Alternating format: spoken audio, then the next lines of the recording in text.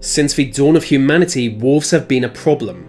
In 1849, one wolf attack alone saw 300 civilians die, and there are countless more attacks unrecorded by history.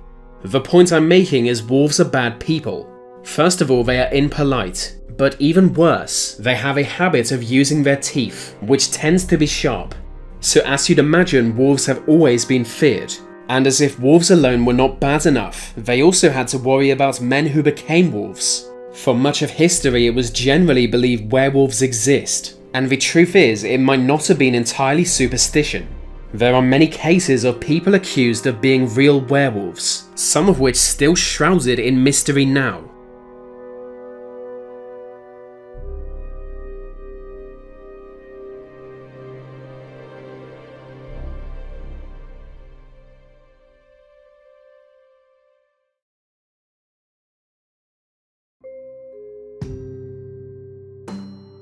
As far as historical records are concerned, Spain's first serial killer was a man called Manuel Blanco Romasanta. After more than 20 deaths in the mid 1800s, he was finally caught, but he denied any personal guilt, claiming to suffer a medical condition that rendered him a bloodthirsty wolf.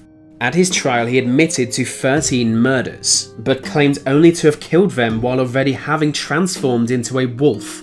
He said for the last 13 years, a curse had left him periodically unable to control his body, becoming the wolfman he now is. The judge did not buy this excuse, sentencing him to death, but the people of Spain did. Massive outcry demanded his medical condition be studied, so that the nature of werewolves could finally be understood. So before his execution, the Queen of Spain personally intervened, commuting his sentence to life in prison. Still, within months of arriving at prison, he was dead. The cause of death is unknown, but rumour tells he was shot dead by guards, who believed he really was a werewolf.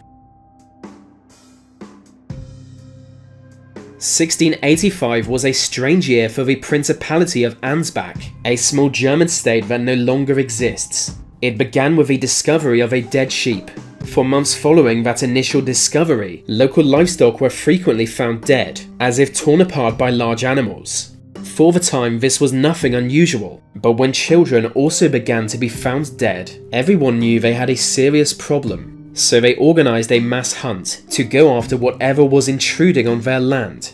Then one day, a foreign priest came to town, claiming to be tracking down a werewolf who fled to the area. Finally, they understood what was going on According to historical records, they found the beast soon after. With gunfire and a pack of dogs, they chased it into a well, where it became trapped and was immediately killed. As the beast lay dying, it partially morphed back into a human, leaving its corpse somewhere between wolf and man.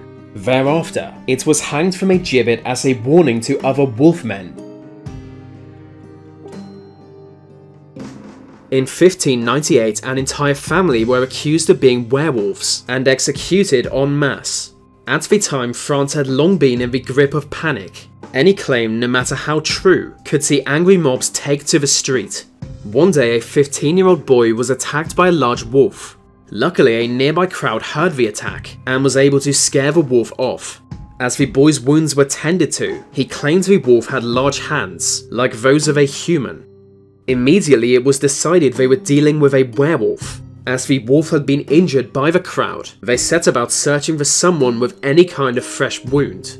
It was not long before they found that person, a local woman with a limp. Without trial, they executed her, but that wasn't the end of it. Rumour spread that her entire family were practitioners of black magic, regularly transforming themselves into monstrous wolves. The accusation alone sealed their fate, the entire Gandillon family were arrested and killed. In the same year, the Gandillon family were accused of being werewolves, so was Jacques Roulet. According to a historical account written more than two centuries later, a group of soldiers once happened upon the mutilated corpse of a young boy. Following a trail of blood, they saw two wolves run into a nearby forest. Chasing them down, the wolves escaped from view and were not seen again. They did however find a strange looking man, exhausted and dressed in rags. From his hands and mouth blood dripped to the ground. In the age of witch hunts, there could be only one response. The man was dragged into town and put on trial. Under interrogation, he admitted to all kinds of wrongdoing, that he came from a rich family, but a household slave corrupted his mind from a young age, teaching him to practice black magic and worship the devil. One day, the slave gave him an ointment that transformed him into a wolf, enabling him to kill people without consequence. All this he confessed without any use of torture. But strangely, he was not put to death. Like most other French people, he was sent to an insane asylum. Livonia is a historical region in the Baltics that for over a century was part of the Swedish Empire. It was during this period that one of the most mysterious cases emerged, the Werewolf of Livonia. In the year 1691, the church of a small village was looted. With no sign of the culprit, an old man who lived beside the church was summoned as a witness. But instead of discussing the church robbery, he openly declared himself to be a werewolf. Authorities were stunned. For years, rumour had told this old man was a practitioner of magic, but no one had expected him to volunteer such a confession. According to his story, he had spent years transforming into a wolf at will, he claimed a wolfman could pass on this ability to anyone else, simply by sharing a drink with them. Interestingly, he hated witches, claiming to have killed many. He said werewolves served God, and that he was a true Christian. Unsure whether or not to kill him, he was instead banished from town.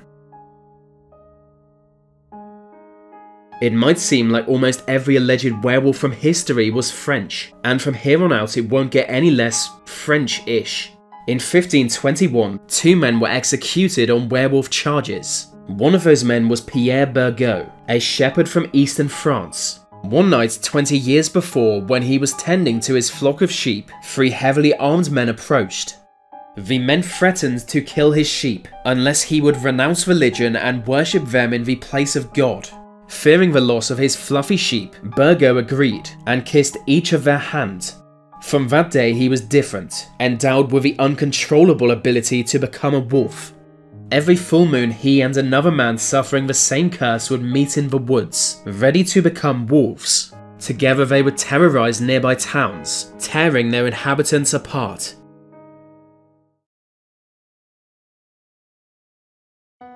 There was once a notorious serial killer called Gilles Garnier, a long-time hermit, he was distrusted by the community he lived outside of. With no source of income, he was in a near constant state of starvation. Then during one particularly harsh winter, he took to cannibalism, murdering children and carving out chunks of their flesh. Finding a string of mutilated corpses, locals came to believe a werewolf was responsible, and first on their list of suspects was the strange hermit. Village authorities offered a bounty to anyone able to bring him in, at his trial, he admitted to being a bloodthirsty wolfman. After months of starvation, as he lay slowly dying, a ghost appeared before him, offering an instant solution. That solution turned out to be the werewolf curse, and a constant hunger for human flesh.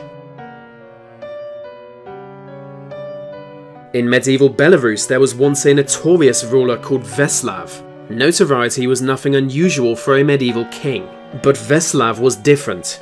As a semi-legendary figure, it's difficult to discern fact from fiction. It is said he was born from magic. His mother unable to have children, she turns to a group of sorcerers who promised her a son. The promise came true, but Veslav was born cursed and would grow up to be a werewolf. So while by day he fought to expand his kingdom and lessen the struggle of his people, he was by night much more cruel and violent, racing from town to town in the form of a wolf, massacring their inhabitants. Each full moon he would render entire settlements ghost towns, but as he was king, nothing was ever done to stop it. In the late 1500s, children began to disappear from the small town of Châlons. For a while it was speculated they were simply running away, but as the disappearances went on, some locals began claiming to witness a large beast in the woods. Like a cross between wolf and man, it was seen near the town each night a child went missing. Hunting parties failed to find any sign of the beast, and it seems the mystery would never be solved. But then a new rumour changed everything. It told that terrified screaming had been heard from inside a nearby tailor shop. For the inhabitants looking for a scapegoat, the tailor was their monster. It is said entire barrels full of human bones were found in his shop, and every wall was covered in blood. There is a Native American folktale that gives a unique view of werewolves. According to it, a young boy was once abandoned by his family. Left to fend for himself in the great American plains, he took to following a pack of wolves, eating what scraps of meat they left behind. In time, the wolves accepted him as one of them, raising him as a wolf. But as the boy struggled to keep up with the pack, he broke his arm. Still part of the pack, his arm gradually healed, but as it did, it reformed into something more resembling the leg of a wolf. Slowly, over a period of many years, he became a wolf, identical to any other.